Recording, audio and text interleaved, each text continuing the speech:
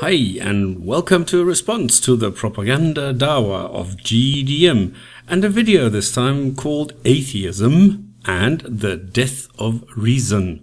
Their argument is that because their favorite god handmade all atoms and hand adjusted some of them to form my brain, I need to function like a railroad carriage and only think within the limits of pre-configured tracks a primitive and useless presuppositional argument, the I am stupid, therefore God argument.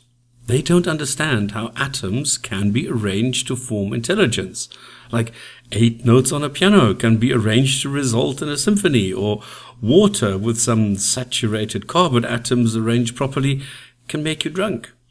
In addition, they expose themselves as bigots who don't understand what an atheist is and what naturalism represents and how one has nothing to do with the other. They're just shallow, childish thoughts, nothing of substance. They also misrepresent the Quran and the secondary texts, saying that they encourage inquisitive thinking outside of Islam, uh, which is not true. Then they assign the number of occurrences of a word in the Quran a significance, which is nonsensical and simple numerology.